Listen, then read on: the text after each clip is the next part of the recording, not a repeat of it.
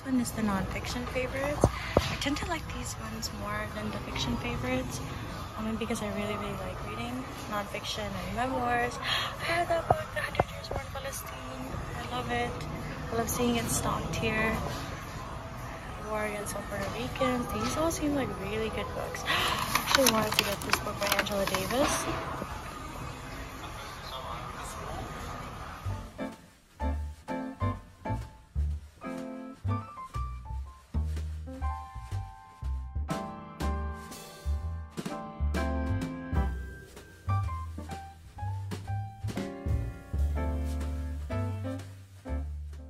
I had to do it. I had to stop by the Terabithia section, which to Terabithia, one of the saddest yet best films ever, and I still stand by it.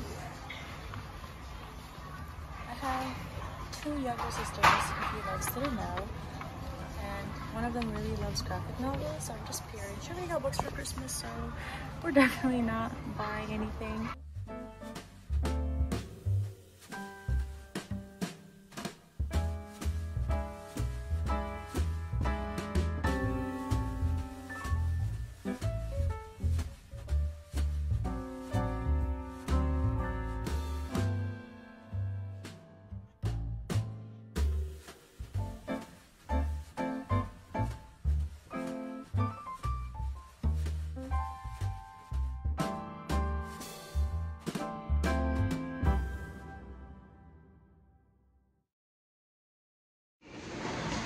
Hey my love, so throughout this vlog, if you haven't noticed, the audio sometimes get really low because it's really busy inside the bookstore itself. But I'm just saying in this portion that I'm going to be reading the book that I picked out, which is Braiding Sweetgrass, after I read my current read, Lola Olufemi's Feminism Interrupted. So this is just me showcasing you, and yeah.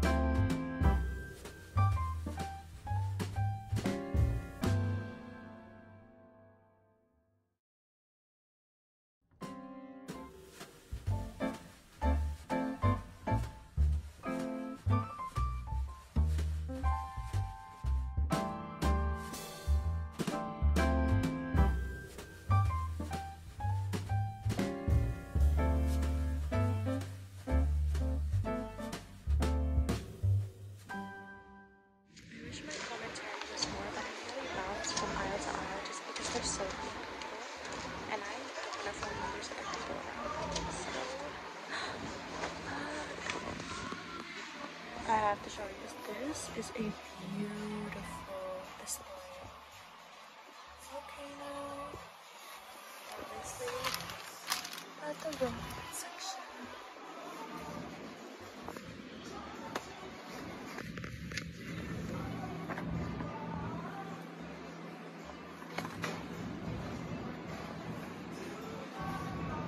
Weddings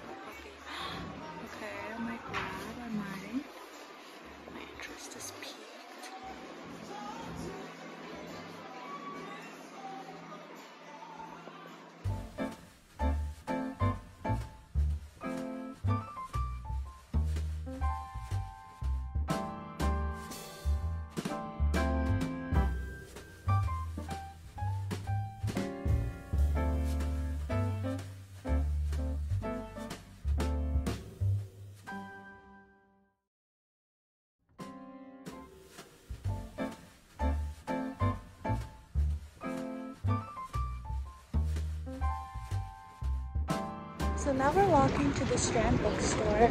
I didn't get anything from Barnes & Noble, which I'm really proud of because I already have way too many books on my TBR. So we're just walking. Very nice day today.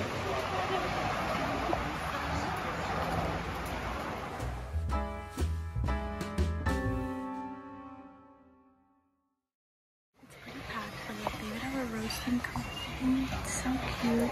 It's the manga section.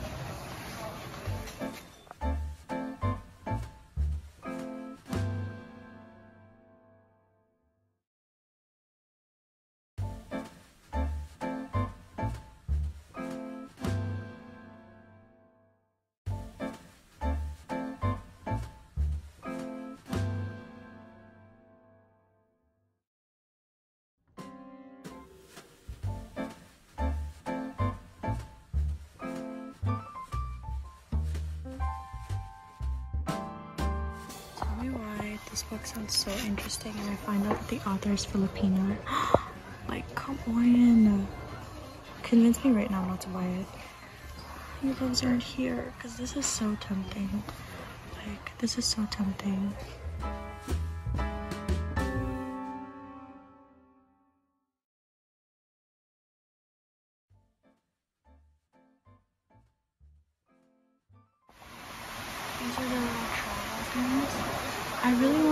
Wanted to get bag that I saw this one.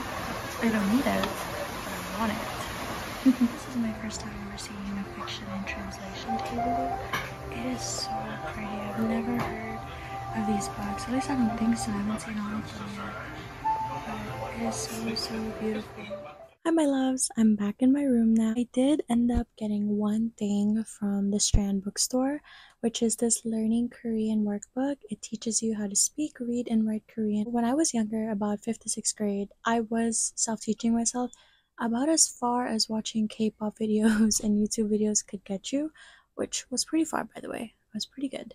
Um, I kid for as a 5th grader and I and I did end up pursuing Korean on my first and second semester of college, but ultimately it and my relationship with Korean ended up lessening because I didn't have any Korean friends or Korean speaking clients or people that I would end up talking to on my job.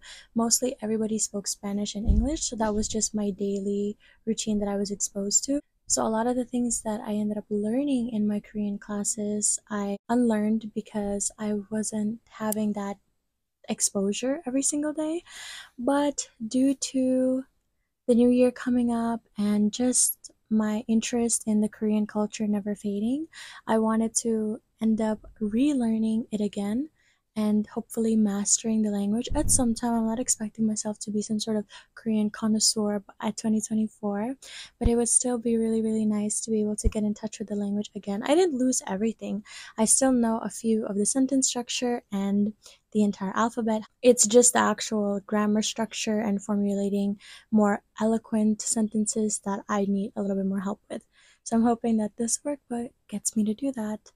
Um, I was really happy when I was at Barnes & Noble solely because I ended up reading up to page 95 of my current read, Feminism Interrupted by Lola Olufemi. I'm not going to get too into it uh, in this vlog, but just know that if you're looking for a book that will help radicalize or just give you a very refreshing but much needed take on the voices silenced by the feminism movement, which is supposed to be a movement designed to uplift those silenced voices, this is the one. And I genuinely, sincerely am saying that I really like it.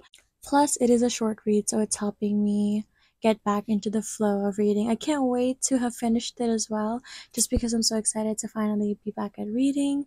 And at the time that I'm filming this, it is December 30th, so Happy New Year to everybody. Thank you so much for watching, and I will see you in the next one.